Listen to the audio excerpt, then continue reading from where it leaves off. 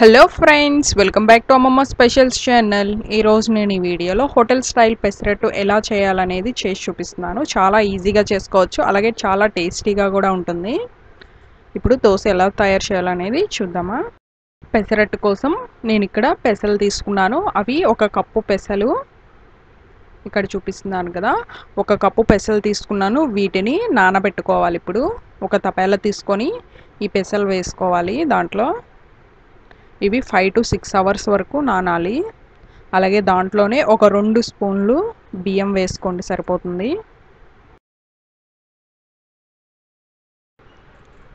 బియ్యం వేసుకున్నాం కదా ఇప్పుడు వాటర్ వేసుకొని ఒక ఐదు నుంచి ఒక ఆరు గంటల సేపు నానబెట్టుకోవాలి పెసల్ని.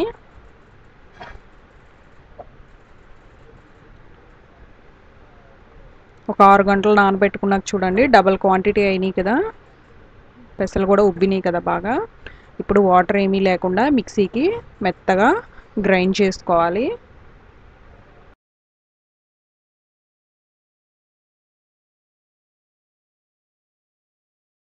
మిక్సీకి వేసుకునేటప్పుడు అదే మిక్సీ జార్లో ఒక నాలుగు పచ్చిమిరపకాయలు వేసుకోవాలి. అలాగే రెండు అల్లం ముక్కలు ఒక అర ఇంచు ఉన్న రెండు అల్లం ముక్కలు వేసుకోవాలి. అలాగే ఒక స్పూన్ జీలకర్ర కూడా వేసుకోండి. వేసుకొని వీటిని కూడా మెత్తగా గ్రైండ్ చేసుకోవాలి. మిక్సీకి వేసుకునేటప్పుడే మధ్యలో కొద్దిగా వాటర్ యాడ్ చేసుకొని మెత్తగా గ్రైండ్ చేసుకోవాలి. ఇక్కడ చూపిస్తున్నాను కదా ఈ విధంగా ఉండాలి. మరీ పల్చగా ఉండకూడదు అలాగని మరీ చిక్కగా ఉండకూడదు. ఇలా ఉంటే సరిపోతుంది దోశలకి. అలాగే దోశలకు సరిపోయినంత ఉప్పు వేసుకోండి. ఉప్పు వేసుకొని ఒకసారి మొత్తం అంతా కలిపిన తర్వాత ఉప్పు సరిపోయిందో లేదో ఒకసారి చెక్ చేసుకోండి. దోశ మీద వేసుకోవడం కోసం నేను ఇక్కడ ఒక రెండు ఉల్లిపాయలు తీసుకున్నాను. అవి చిన్న ముక్కలుగా కట్ చేసుకొని ఉంచుకోవాలి. అలాగే ఒక పచ్చిమిరపకాయ చిన్నగా కట్ చేసుకోవాలి. అలాగే ఒక క్యారెట్ తురుముకొని ఉంచుకోవాలి. అలాగే కొద్ది కొత్తిమీర ఇవన్నీ ఒక బౌల్లో వేసుకొని మొత్తం అంతా ఒకసారి కలుపుకున్న తర్వాత సాల్ట్ కూడా వేసుకొని కలుపుకొని ఒక పక్కన ఉంచుకోండి.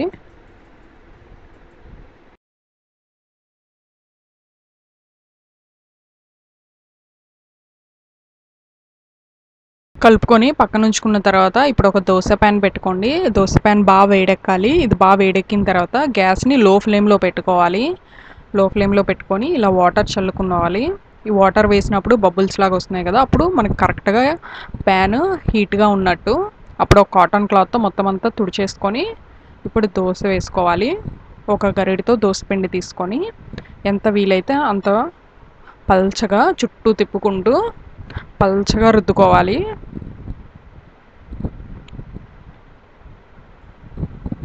ఇలా వాటర్ ముందు చల్లుకోవడం మూలంగా మనకి దోశ ప్యాన్ కరెక్ట్ హీట్లో ఉంటుంది. అలాగే మనం దోశ ఎంత పలచగా అయితే అంత పలచగా వస్తుంది అంటుకోకుండా నీట్గా వస్తుంది. మనకి హోటల్లో ఏ విధంగా అయితే దోశలు వస్తాయో ఆ విధంగా వస్తుంది.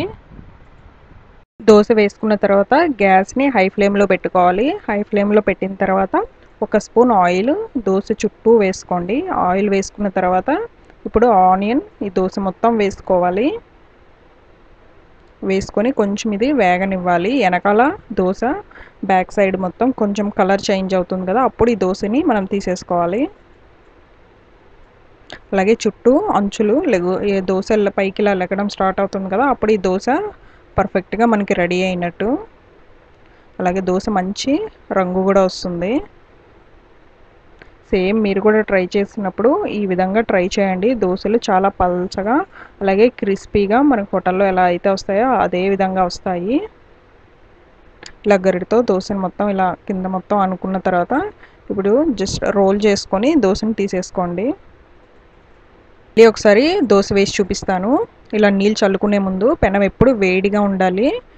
అప్పుడు తర్వాత గ్యాస్ని లో ఫ్లేమ్లో పెట్టుకొని వాటర్ చల్లుకోవాలి. వాటర్ చల్లినప్పుడు బబుల్స్ లాగా వస్తాయి కదా అప్పుడు మనకి ఈ ప్యాన్ కరెక్ట్ హీట్లో ఉన్నట్టు ఈ వాటర్ని మొత్తం క్లాత్తో తుడిచేసుకొని ఇప్పుడు దోశ వేసుకోవాలి.